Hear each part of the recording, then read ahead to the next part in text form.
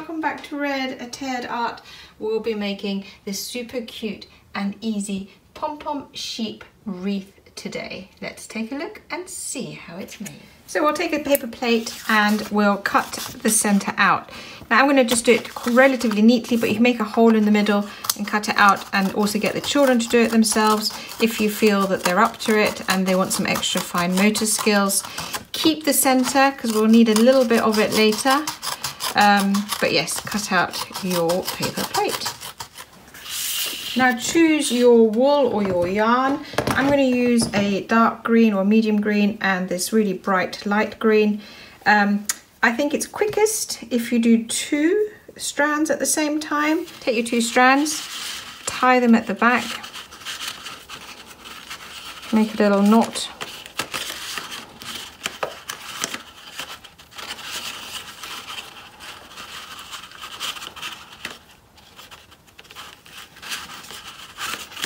and then take a whole bunch of it and start wrapping. I'm just going to get a length so that it uh, it's not such a big piece of wool to go through.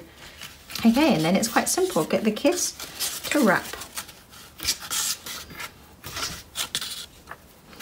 And I think it's quite nice to crisscross, you know, not do it super neat. Just get it going round and round. So I think this is enough. Um, you can do more or less, it's up to you. You can of course paint the paper plate green. Now one's slightly longer than the other, that's not a problem. I'm just gonna tuck it in behind and knot it off. I did use a little bit extra and I just knotted uh, pieces of wool together to secure them. So I'm just gonna try and knot this on itself. Uh, it's a little bit fiddly, so you might want to do this for your child. There we go. Here's a little knot. I'm going to keep the slightly gr longer green one. I think that's actually quite handy because it means I can use that for hanging up later. So that's done. Gorgeous. I think it looks really nice already. And now it's time to turn it into, I mean, it's already quite springy with the color. So I made a pom-pom sheep a little while ago. Um, I'm going to trim this off now. Um, I've got uh, instructions for the sheep as well, but it's basically just making your pom-pom with a little black face and some pipe cleaners stuck in. He's going to sit here. I've also made some little pink pom-poms just kind of to brighten it up and give some contrast. For our sheep, I'm going to make a little platform. So I'm going to use the card from earlier and I'm just going to cut out a little rectangle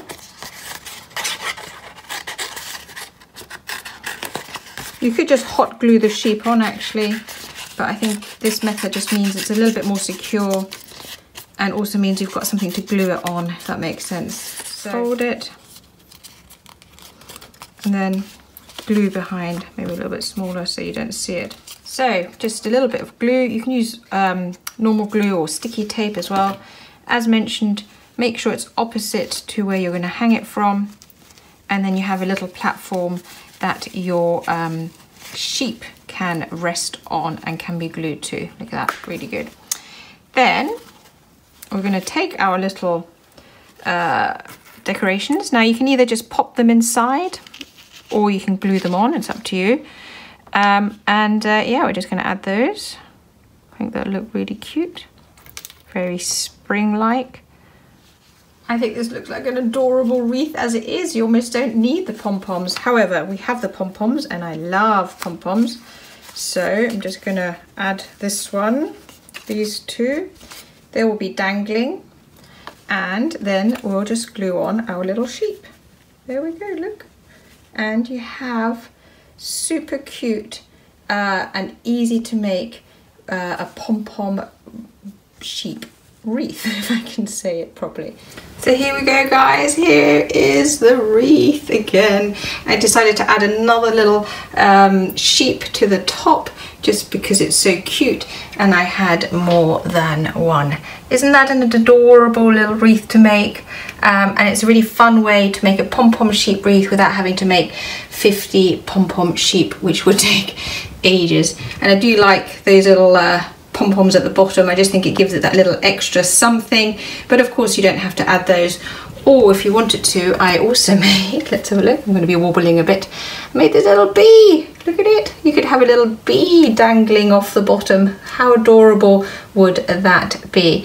Um, you can also, of course, change all the colours up. You could have um, a little pink sheep. Where's it gone? Um, you could have all sorts. Um, but yeah, that's our little sheep pom-pom wreath. I hope you like it.